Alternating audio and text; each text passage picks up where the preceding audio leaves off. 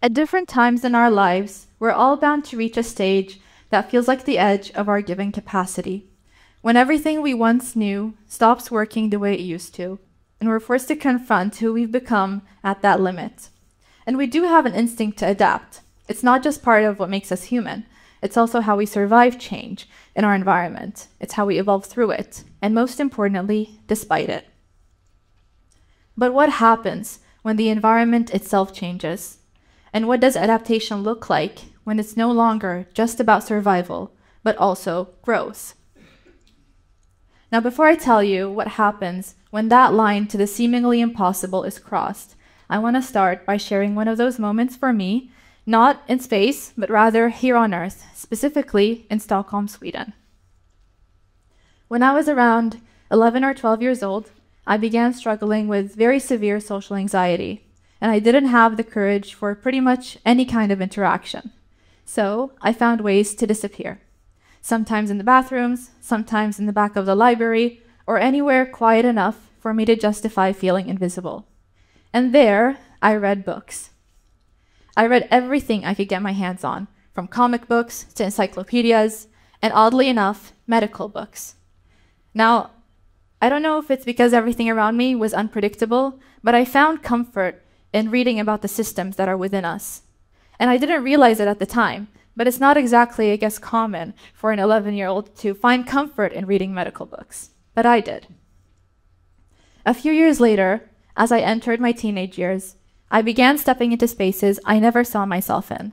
I attended academic events, I met people, got involved in projects, and I learned to show up in ways that truly terrified me to my core. And each time I stepped into those new spaces, my brain was adapting as it moved through the nerves, the doubt, and the need to prove that I as well deserved to be there. I remember one moment very clearly. I was at a space conference in Gothenburg, and we were on a long bus ride um, to an observatory by the coast. I was sitting next to someone I'd met, and I remember looking out the window and saying, I think this is the coolest thing I'll ever do. This is my peak. And they, of course, laughed and asked why. And I said, Because I'm just 16. I have no idea how I got here or why I'm even here. I just am. And I meant it. With every part of my conscious mind, I truly believed that this was the best I could do and that I had reached the edge of my own capacity, the point where everything I knew and all those tools could only take me that far. But limits, as it turns out, are just moments of the seemingly impossible right before adaptation happens. Funnily enough, the reason I began attending those events was because of my social anxiety. I was encouraged to enter spaces where I could hone the comfort I'd created in my love for curiosity. And in the following years, everything unfolded like a chain reaction of events, from one opportunity to the next, one new limit to the next. And speaking in scientific terms now, the catalyst, in my opinion, wasn't luck or timing. It was what I taught myself as a kid hiding in those school bathrooms, the ability to create purpose out of curiosity itself. So curiosity was my currency, and it's yours too. So what happens when our ambition and curiosity takes us to places further than what we can imagine for ourselves? And how do we adapt to those new mental and physical environments? In a way, that's the same question that encapsulates a subject that took me all the way across the world to Canada to study human spaceflight.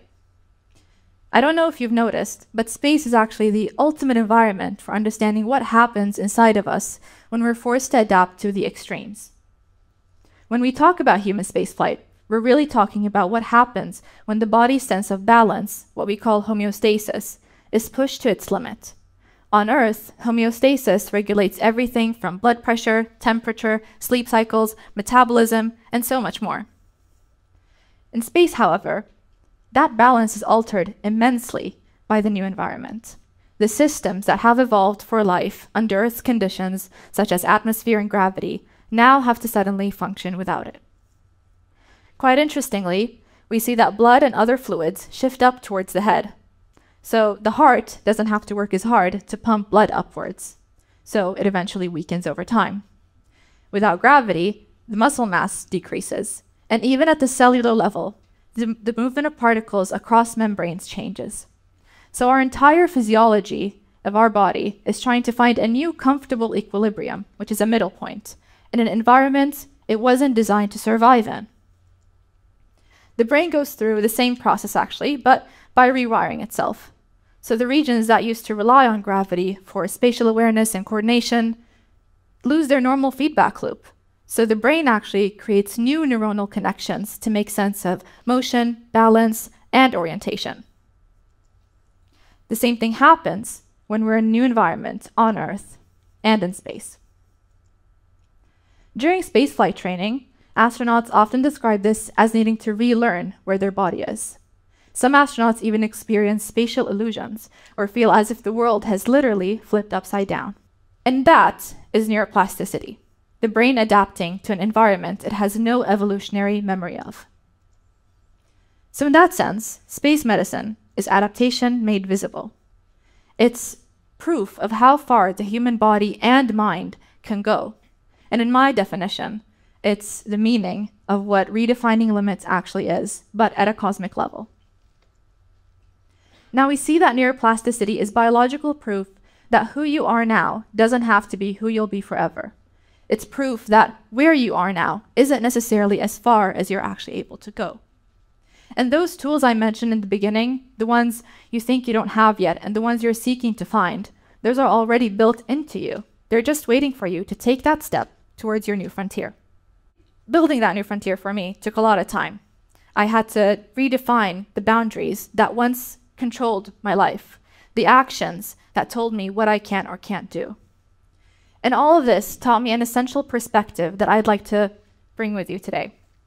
That the same neuroplasticity that helps an astronaut relearn which way is up and which way is down is the same biological force that lives in every single one of us. It means that whatever limits you feel are fixed today are not endpoints at all, but rather frameworks for growth places you can return to, compare yourself against, and realize just how far you've come. My story, like many of yours, is proof that our capacity for growth is our greatest survival tool. So take a moment, look at how far we've all come. As species that once huddled around fires, now sending probes to distant stars, and people who are willing to go to the beyond. That journey is not just a testament to our technology, but to the biology and to the limitless potential that is encoded within us. It proves that the edge of our capacity is not a final destination, but a starting line. So, combining medicine and space have come naturally to my story. They were the two subjects I stuck by when everything around me felt confusing. It was only in my last year of high school where I realized that somehow they have to make sense together. Somehow, the looking up has to go with hand in hand with looking within. And now more than ever, we find that the endless universe is at the tip of our fingers, whether it's through knowledge, possibilities, or technology. However, we still find ourselves limiting our individual ambitions through fear, neglect of personal growth, and comparison. And that's why looking up towards the sky of endless possibilities goes hand in hand with looking inwards, towards the potential that you hold within.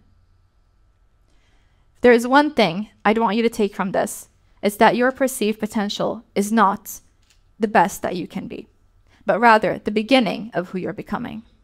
And that ambition will take you to places you're not naturally meant to survive in, but places that you will strive in.